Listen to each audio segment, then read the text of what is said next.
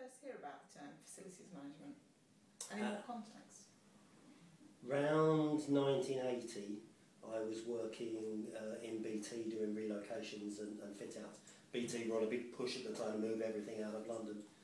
Um, and we were doing a lot of work with Herman Miller. And Herman Miller had been working in, in, in the States with their major user group on the thing that finally became IFMA. Um, and uh, the stuff that Frank Becker was doing at Cornell University. So I kind of heard this facilities management thing, but it was an American thing.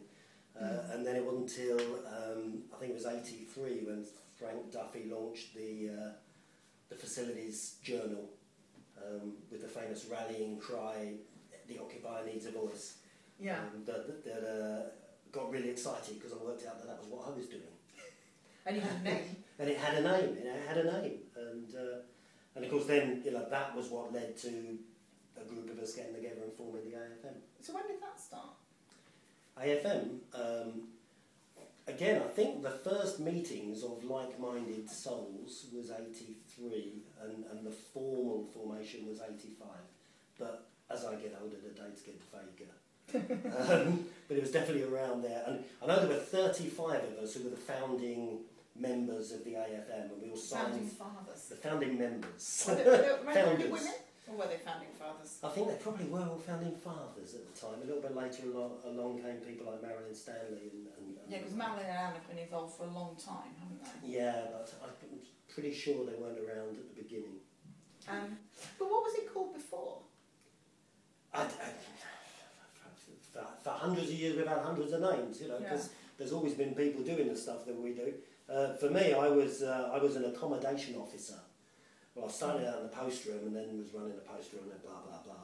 Um, but then I became the assistant accommodation officer in, in the post office and, um, and then later on building manager. Um, and it's really when, when this FM thing started, I mean, again, somewhere in the pile of papers that I lost somewhere in my life, uh, was a, a, a letter from the director of building, the B, British Telecom's building management division, saying there is not and never will be a place for facilities management in BT.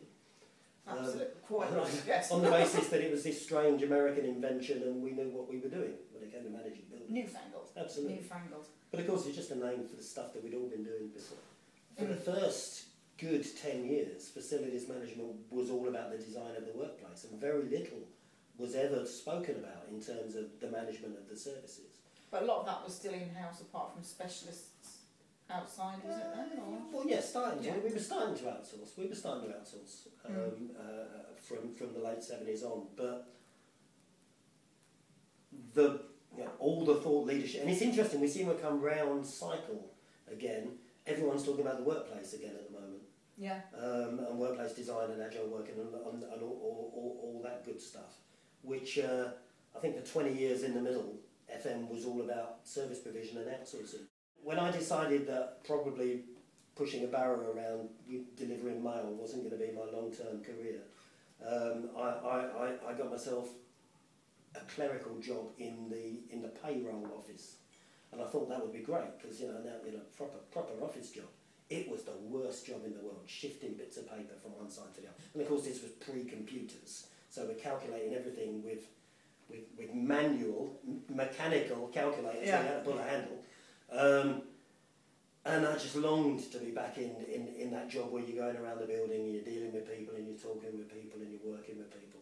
Because I thought working in personnel would be about working with people, and it absolutely wasn't. Working in what was then accommodation was about working with people, and that is, uh, and, and you know, that is at the that is the thing that's at the core of FM. That's why we have the facilities. You know, the building is only there to keep the people dry while they do what the core business of the organisation is. Um, and FM is about helping people to do that better. You know, there's one of the big changes over the last 40 years. You know, it, it was pretty much catering, cleaning, maintenance, security, reception, mailroom for a long time.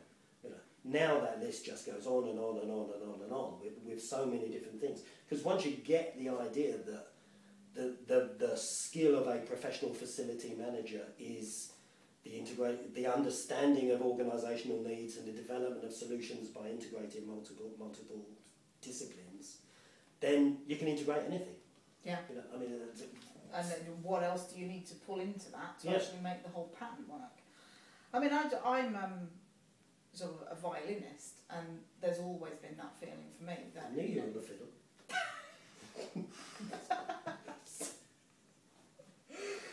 But you know that whole idea that you need all the instruments in the orchestra, and um, it's not always an analogy that works well for facilities people because if they're not musicians, then they just don't know what you're talking about. But the idea is that you know you need all the instruments to get the piece together, and that some people have never sort of understood that about their organisation, and other people just think, yeah, everyone needs to be working in harmony, and there is that whole kind of.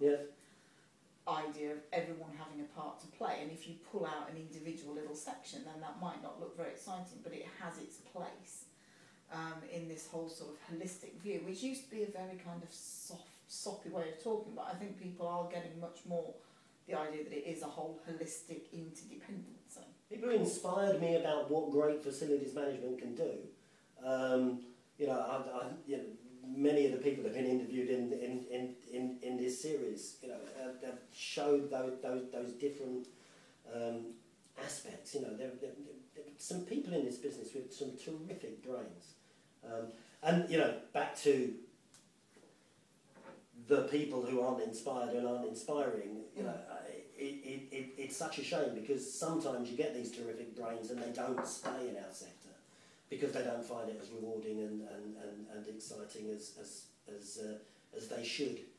Um, I think that's an issue on the client side, particularly, isn't Yeah. it? That because it's not seen really as one good, of the yeah. sexy areas, that people are thinking, well, if I really want to go somewhere in this organisation, I need to get out of facilities and get into another division. well, part of it, of course, is that a l you know there's more M than F in FM. Yeah.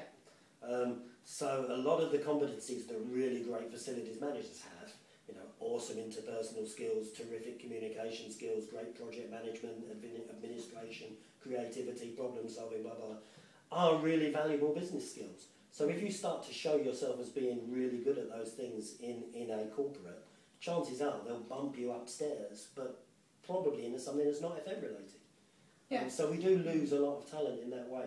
Other than those who come over to the supply side, and, and, and I think you know, I mean, which is, which is what I did, 29 years working customer side, um, and one of the reasons I went supply side was I was you know, personal career wise, I was never going to get on the board of a telecoms company as a facilities manager, and I, Yeah. I, I had ambitions to be in the board.